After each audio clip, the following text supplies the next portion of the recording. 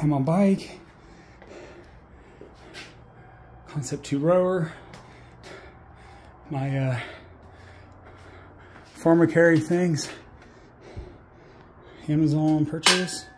And the squat racks. Those are Facebook Marketplace. I got that off Facebook Marketplace. This is the only thing I, well, one of the few things I bought new. Air assault bike, whatever you call it, just a Blitz one. Same thing. Air Runner, I got that off Marketplace. Really good deal. It's uh, it's adjustable. You can do like sled pushes and stuff with it. And uh, pull up thing. I just put weights on it to make it stable. Bought that off Marketplace. Crash pads, got those new. Uh, Again Faster bumpers. A couple 45s, a couple 25s, a couple 10s.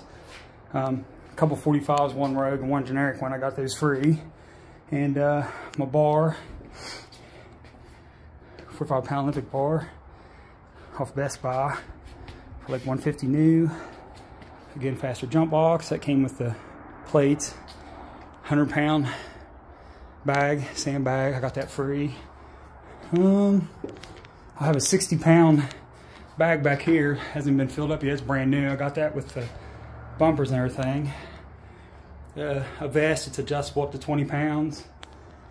Uh, what else I? Another bar. I use that for squats. I got that for 20 bucks with a couple uh, 35 pound plates and um, a couple tins.